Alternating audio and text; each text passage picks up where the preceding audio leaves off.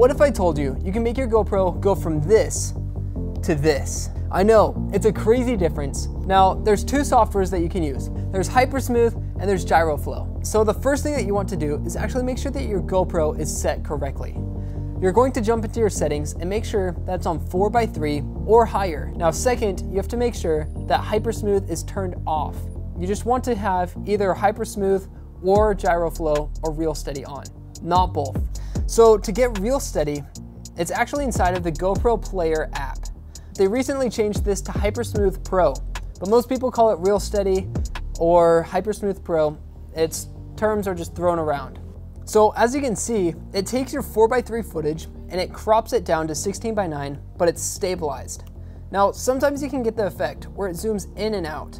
And what you want to do is just throw your smoothness down to about 5 or around there. The lower the smoothness, the less cropping in and out it'll have.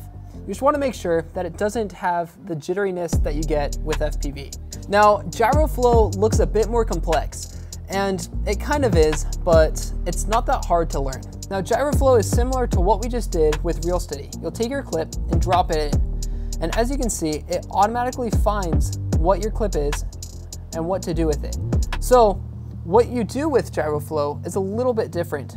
Over here on the top left, you have to make sure that everything's correct. For me, I'm using the Hero 10, so that's correct. And everything matches up. Down here, and this will also depend on what other cameras or anything else you're using, uh, you have to make sure your lens profile is correct. Now here's an awesome feature with GyroFlow that RealSteady doesn't have. You can use a professional camera or anything else with it. So for me, I'll actually take my Sony camera and I'll throw a GoPro on top of it. It will take the gyro data inside of your GoPro and use it and apply it onto your Sony camera or your professional camera. Down here, you'll make sure that your motion data is the same. And like I said, if you're going to use a camera and stabilize that, you'll put your GoPro data in there and your main footage in the top left up here.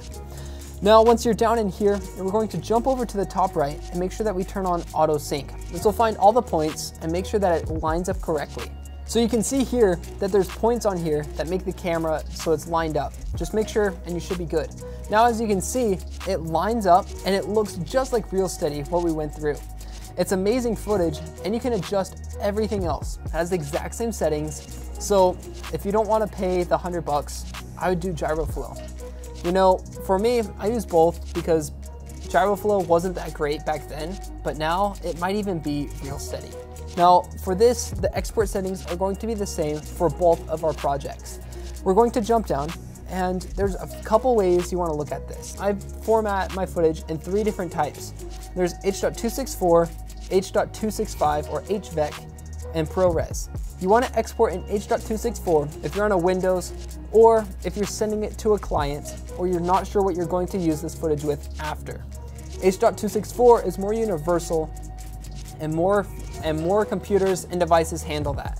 H.265 is smaller file sizes, it reads better, it edits better, and overall, I prefer it. But it just depends on your system.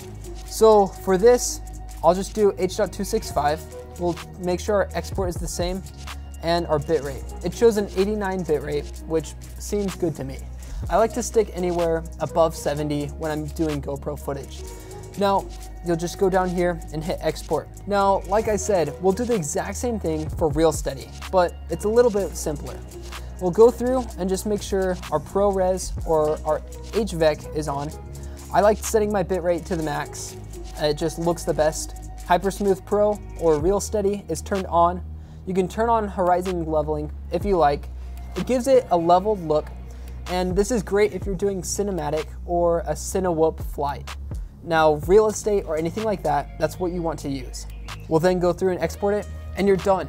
The cool thing is that everything is set up with your GoPro. You can have great settings, and now you can get a nice stabilized footage that looks like it's from a professional camera and not a GoPro. For me, I use both of these softwares, and I still use RealSteady because it's just simpler to use and it's faster. But if you don't have RealSteady, then I think GyroFlow is an amazing option. Plus, the main reason why I still keep it is that I can use it on my camera. So that's a hidden feature, but also an amazing feature to use for your camera. So now you know how to stabilize your GoPro footage and how to go through and make it look like a professional camera. Well, I hope this helped, and I'm Zane Shaw, and keep flying.